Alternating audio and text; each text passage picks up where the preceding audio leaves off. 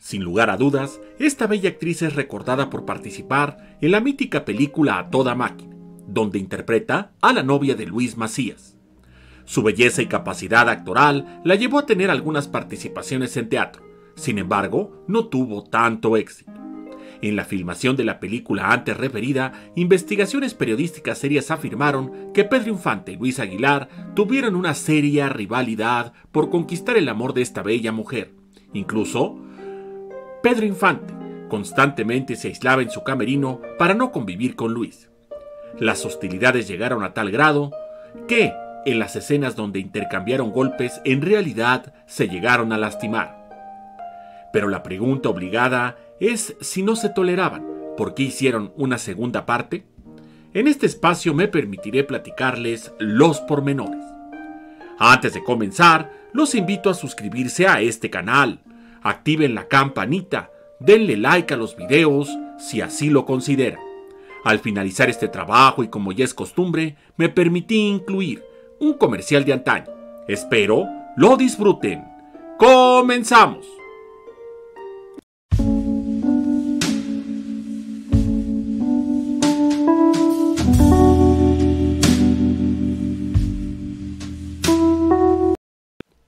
Su nombre completo es Aurora Segura Lazoain. Nace un 29 de diciembre de 1923 en Navarra, España.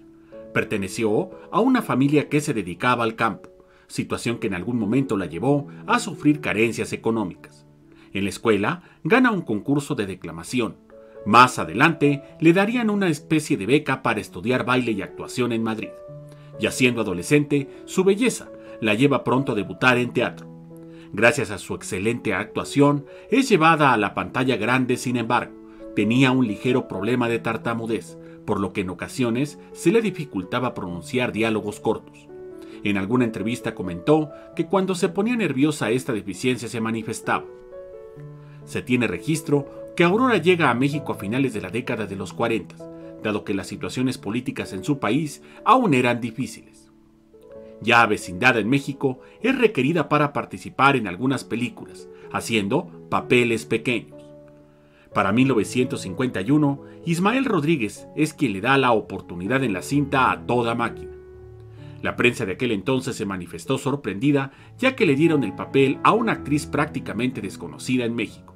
Ismael en algún momento comentó que la falta de presupuesto generó que se contrataran actores complementarios y de reparto poco conocidos.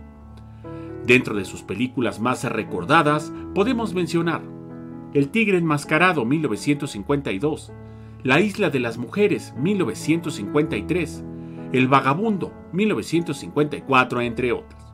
Se comenta que recibió rechazo por parte de algunas productoras ya que ésta tasaba muy alto sus servicios, situación que le afectó su carrera en México. Se afirmó que Pedro Infante era un actor en ocasiones poco sociable para con sus compañeros. Sin embargo, intentaba convivir, pero algunos refieren que no era agradable.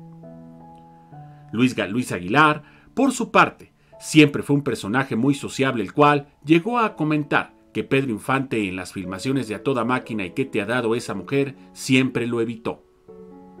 En la filmación precisamente de la película A Toda Máquina, Pedro Infante comenzó a cortejar a la bella Aurora.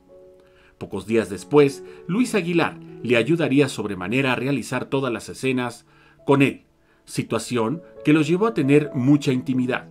Se dice que esta situación encolerizó a Pedro, sin embargo, no le reclamó directamente al gallo Giro, sino a Ismael Rodríguez.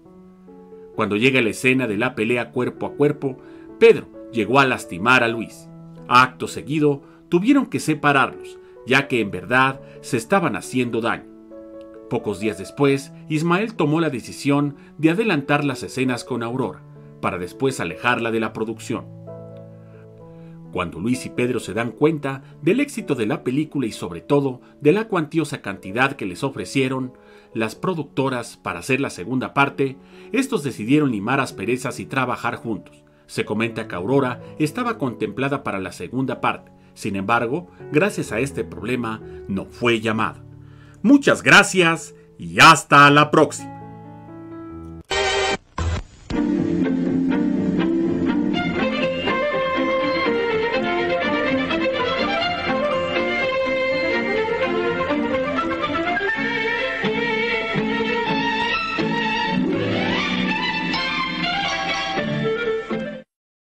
¿Qué tanto sabes de las películas de Pedro Infante?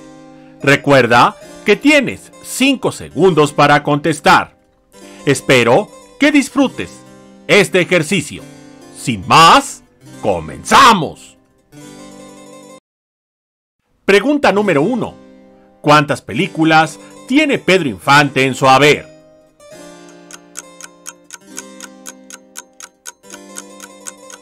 La respuesta correcta es A. 61. Pregunta número 2.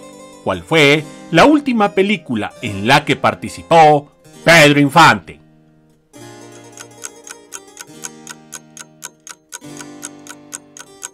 La respuesta correcta es A.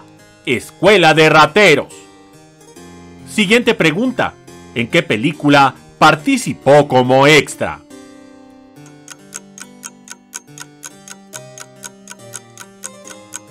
La respuesta correcta es A. En un burro, tres baturros. Pregunta número 4. ¿Cómo se llama la actriz que interpretó a la hija del señor Bertis?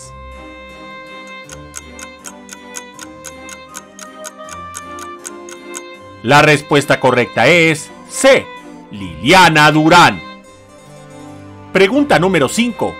¿Quién dirigió la película Angelitos Negros?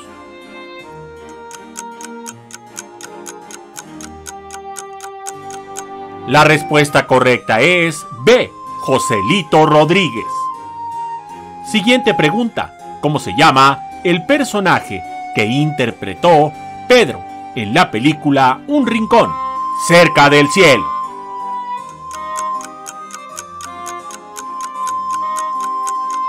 La respuesta correcta es C.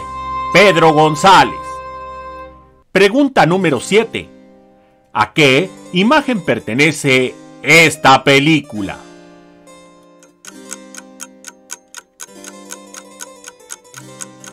La respuesta correcta es ¿Qué te ha dado esa mujer. Siguiente pregunta. ¿En qué película comparten escena Pedro Infante y Tintán?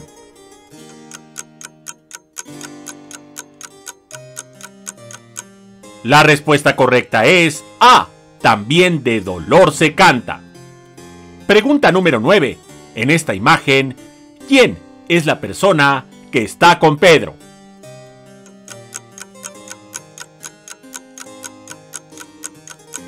La respuesta correcta es C, ninguno de los dos, ya que es Ismael Rodríguez.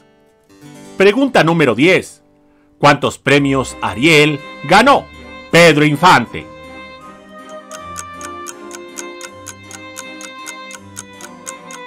La respuesta correcta es B, 1. Pregunta número 11. ¿Con qué película ganó el único premio Ariel Pedro Infante.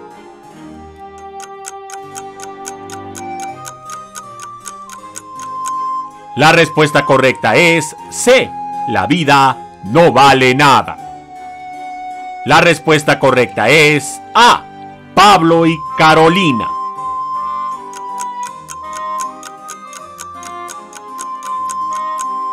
La respuesta correcta es A. Pablo y Carolina. Siguiente pregunta. En la película Dos tipos de cuidado participó brevemente esta actriz, la cual se llamó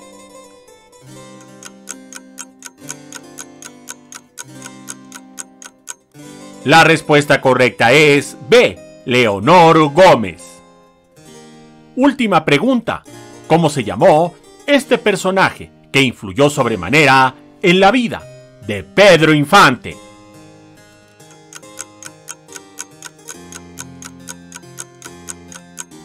La respuesta correcta es B. Antonio Matuk. Muchas gracias y hasta la próxima.